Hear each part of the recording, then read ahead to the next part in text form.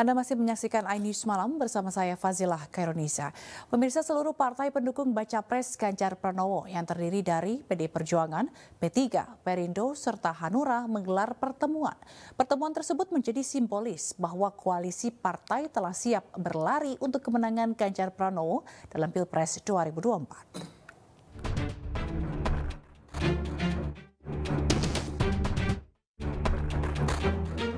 Partai pendukung Baca Pres Ganjar Pranowo yang terdiri dari PDI Perjuangan, P3, Perindo, serta Hanura menggelar pertemuan pada Kamis 6 Juli kemarin.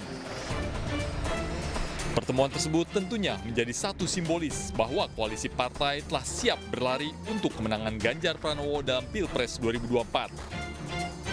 Partai Perindo sendiri telah menggerakkan seluruh struktur partai, mulai dari calon legislatif, anggota partai, sampai simpatisan dalam rangka memenangkan Ganjar Pranowo. Dalam pertemuan yang pertama itu memberikan satu simbolisasi bahwa kami telah siap berlari untuk memenangkan Mas Ganjar karena sudah pasti bahwa Pak Ganjar itu sudah dapat tiket. Sementara yang lainnya masih berlari-lari mencari uh, paket koalisi uh, partai untuk mengusung capres lainnya. Partai Perindo juga menggerakkan seluruh struktur uh, caleg, anggota, simpatisan untuk bergerak juga dalam rangka memenangkan uh, Mas Ganjar. Pertemuan yang digelar di rumah aspirasi relawan tersebut adalah pertemuan pertama yang dilakukan oleh seluruh partai pendukung Ganjar Pranowo. Dari Jakarta, Nisa Sahib, Guntur, Ainus melaporkan. Sementara kedekatan bakal calon presiden PD Perjuangan yang didukung Partai Perindo Ganjar Pranowo dengan emak-emak tidak terbantahkan. Hal ini terbukti dengan dukungan 10 ribuan emak-emak yang tergabung dalam gerakan emak-emak relawan Ganjar Pranowo.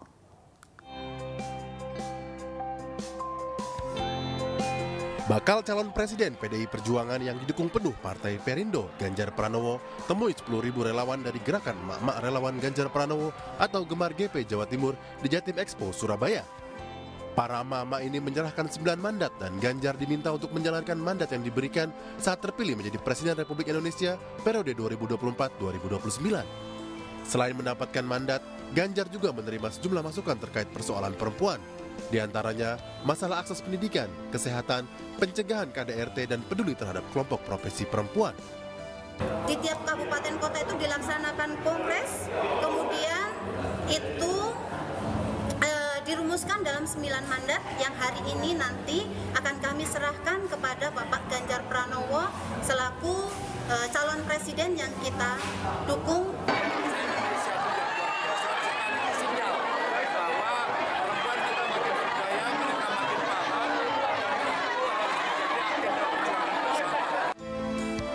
Gerakan Mak-Mak Relawan Ganjar Pranowo dengan 200 ribu relawan yang tersebar di Jawa Timur juga menyatakan sikap siap memenangkan Ganjar Pranowo sebagai Presiden Republik Indonesia ke-8 pada Pilpres 2024 mendatang. Dari Surabaya, Jawa Timur, Hari Tambayong Ayus melaporkan. Puncak acara Hari Keluarga Nasional Harganas ke-30 yang dilaksanakan di Kabupaten Banyuasin, Sumatera Selatan dihadiri Wakil Presiden Republik Indonesia Kiai Haji Ma'ruf Amin. Sebagai apresiasi, Kepala BKKBN memberikan setia lencana kepada kepala daerah yang berhasil menurunkan angka stunting.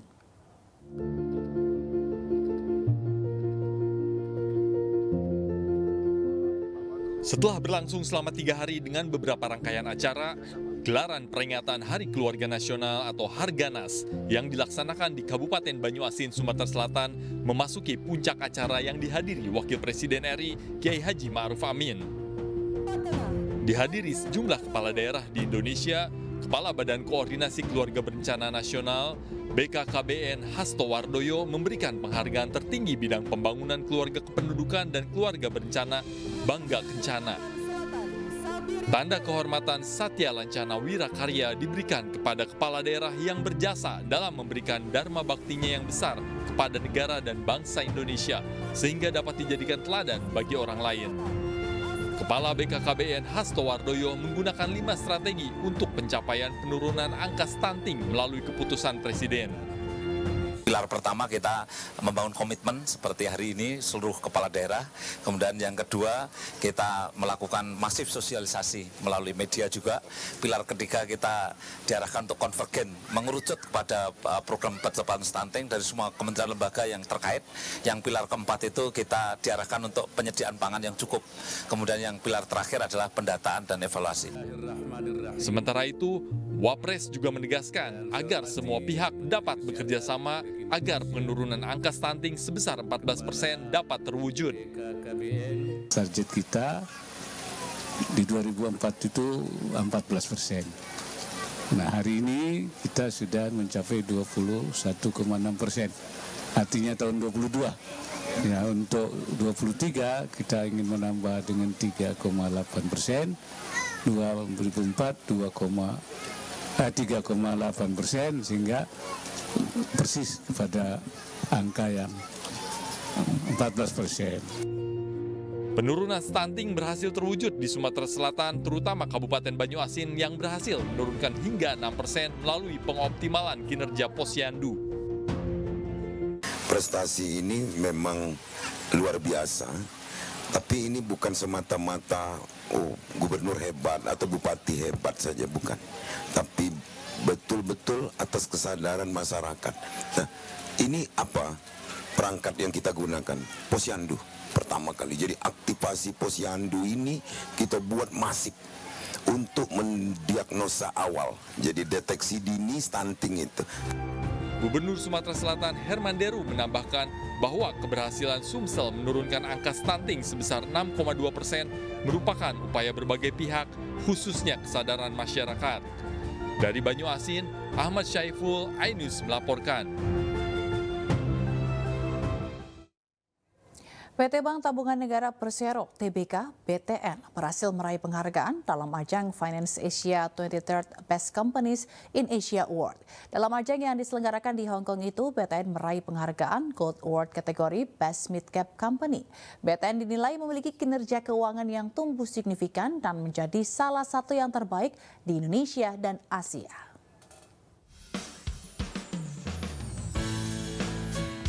PT Bank Tabungan Negara Persero TBK BTN berhasil meraih penghargaan dalam Finance Asia 23rd Best Companies in Asia Award yang diselenggarakan di Hong Kong. BTN meraih penghargaan Gold Awards kategori Best Mid Cap Company. BTN dinilai memiliki kinerja keuangan yang tumbuh signifikan dan menjadi salah satu yang terbaik di Indonesia dan Asia. Nixon LP Napitupulu, Direktur Utama BTN mengatakan penghargaan yang telah diperoleh perseroan dari lembaga internasional seperti Finance Asia dan baru-baru ini juga dari Euromoney membuktikan progres transformasi yang dilakukan BTN telah banyak mengalami perubahan ke arah positif, termasuk salah satunya penguatan ke arah permodalan dan keuangan.